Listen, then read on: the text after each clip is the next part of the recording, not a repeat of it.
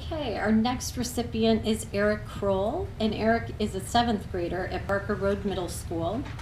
And uh, Danielle Gerby was the teacher to nominate Eric. Eric is an exemplary Barker Road student. Every day, in and out of class, he displays our Barker Road norms and core principles.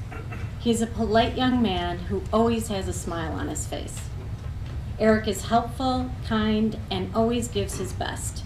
He's a leader amongst his classmates. I often see his peers turn to him to ask for advice or help with a project. Eric is always willing to stop the work he's involved in to help a classmate. He's patient and he works with his peers to make sure they're involved in and understand the classwork. I've asked Eric to help and work with other students. He's always willing to help with a smile on his face. He will often ask if he can help me again in other ways. It's nice to know that we can count on Eric here at Barker Road.